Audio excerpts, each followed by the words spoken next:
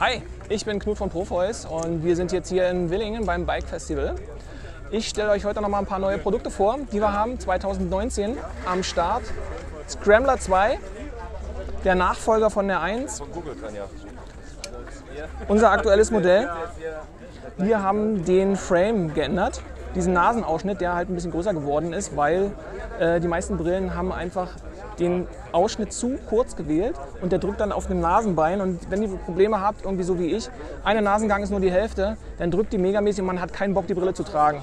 Also, der Rahmen ist größer geworden, neue Designs, aktuelle Modell in Neon, passend zu unserem Jersey. Das hier. Oder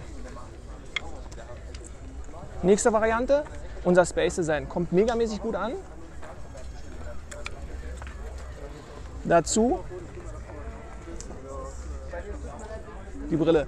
Nose Guard kann man natürlich rausnehmen, überhaupt gar kein Problem. Und ähm, bei den Gläsern, die sind auch sehr, sehr gut, was äh, die Kontraste betrifft. Inklusive Klarglas mit bei in unserem Package. Ähm, Klarglas zum Beispiel zum Nachbestellen megamäßig günstig, 12 Euro nur.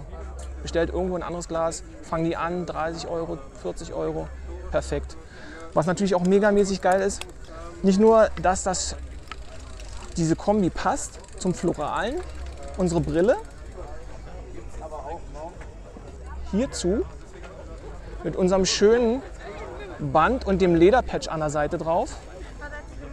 Die Handschuhe passend dazu werden noch kommen, leider nicht zu Winterberg. Ähm, wir schauen mal, ich denke mal so in fünf Wochen sollten sie dann da sein in verschiedenen Größen.